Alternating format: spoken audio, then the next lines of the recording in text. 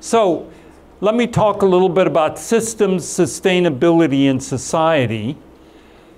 Very important, crucial point, which I don't think is new here, but for some people is a new idea.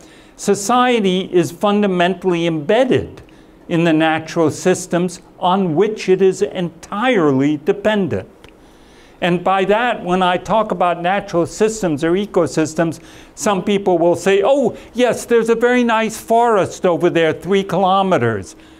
No, I'm not talking about that. I'm talking about where do the clothes you're wearing come from? What air are you breathing? What water are you drinking? Those are all part of the ecosystem on which we are dependent. Second, that societies define their relationship, what is valuable in the environment. It's not something that's given to us. We each in every environment, every culture, every context define that aspect in terms of their, our own societies. And sustainability, therefore, depends on how we define it. And what's important is the sense of agency and responsibility to act. By agency, I mean whether you feel you are capable of acting.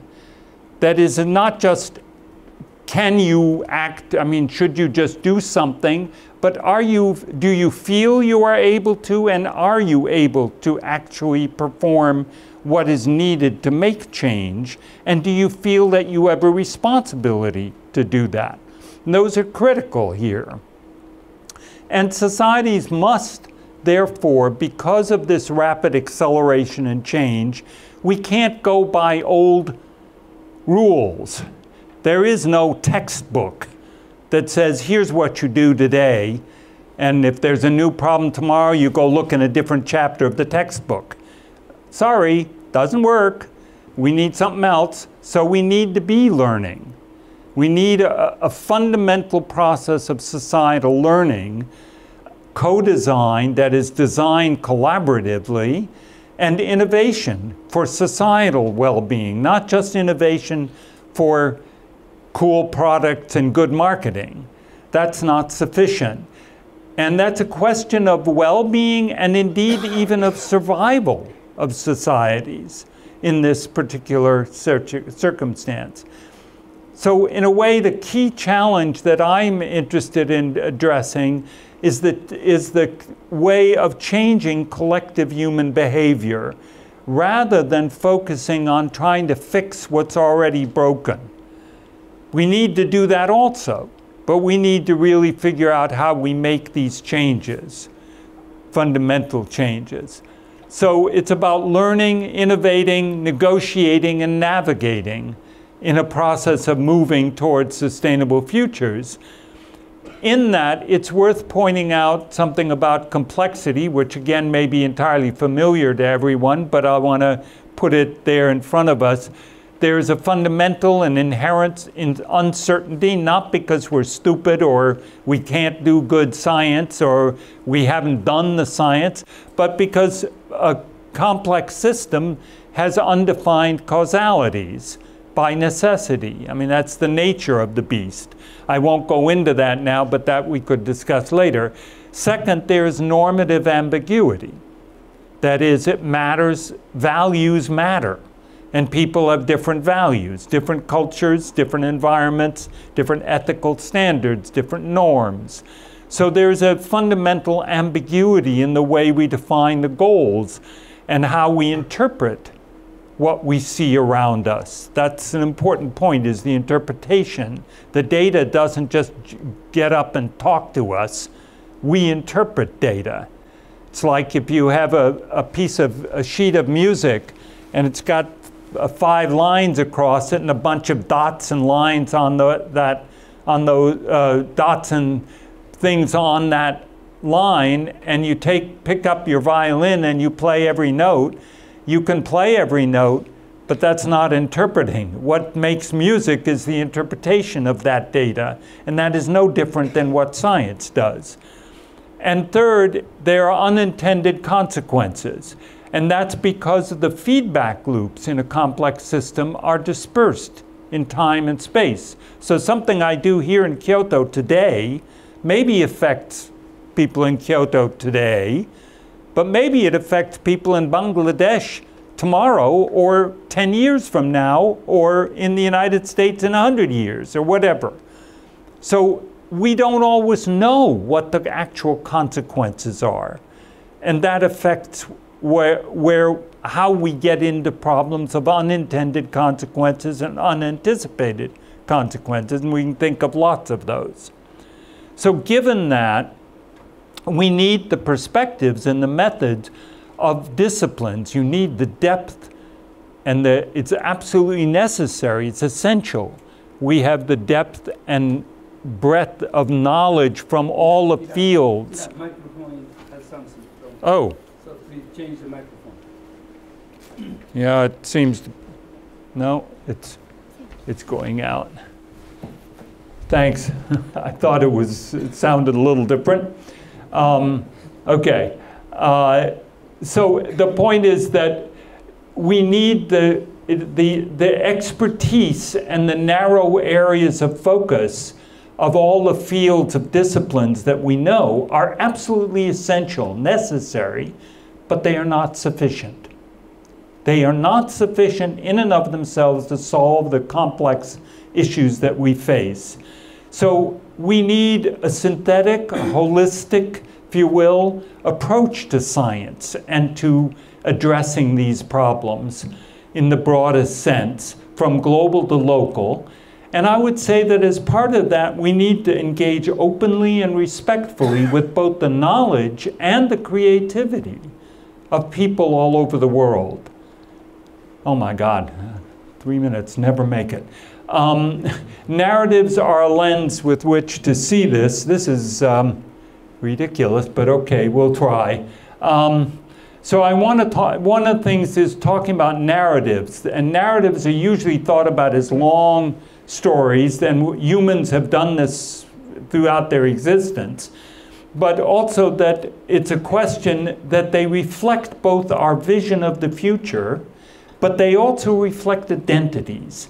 And identities are important because they have a lot to do with our motivation to act or oppose change. And I'll give you a couple quick examples. An indigenous artist memorial to vi- villages painted on the corner of his house and on the, the wall in front of it after landslides buried his community in Taiwan. Or Martin Luther King's famous talk. And what's interesting about this is it was a very long speech, very powerful, very beautiful, very moving. But what remains is this condensed little affective narrative, this emotional expression I have a dream. And he repeated it. And it is that that stays and powers people's reactions in many ways. Or a friend of mine, a wonderful uh, colleague and friend, uh, Cassie Mader, um, developed this uh, choreography. It can be dance in that form, or in a very negative sense, the campaign against Agenda 21. Two states in the United States voted against sustainability in 2012. Believe it or not, they voted against sustainability, made it outlawed, um, because not because of the science, not because of sustainability, but because of the idea of American individualism and, uh, and um, the sense that this was a, a, a, a incursion on American freedom. And then, of course, we have this character, and I'm sorry for the misspelling, but by great, I think it means that rubs people the wrong way. Um, so there are narratives that have power, and we need to tend to that. We have had a symposium in Taipei in September and early October looking at narratives from uh, examples all over the world. And we will go on with that to categorize the narratives and use it to develop social modeling. Um, I know the time's up, but give me a couple more minutes to finish. Um, the, the idea is getting to uh, na- narrative from, sorry, to social dynamics from narratives. I'm going to skip this quickly because it just will take too much time. There's one other thing is that the point is the modeling that we're trying to do, and I can talk about this more later, um, is about looking at plausible pathways to change, not about predicting. These are not predictive. They are meant as ways of increasing the creativity of our thinking. And that's a very important distinction here. And um, very briefly, we have a panel on Global Sustainability Strategy Forum that Audryn Wren, Sander van der and myself are leading a new program. But looking at judgment of these sustainability target of, of the processes, not just the solutions, and that's informed by, but not limited to, all the SDG indices and everything else that Michel and, and uh, Gerald mentioned. Um, and the real point is to try to make the thinking transparent. How are we thinking about those goals, and how are experts from all over the world, uh, they're quite well distributed, approach this? So, what's the focus of, on process that leads to solutions at multiple scales? How do we frame language that makes it better in terms of linking with policy challenges and linking processes with policy options?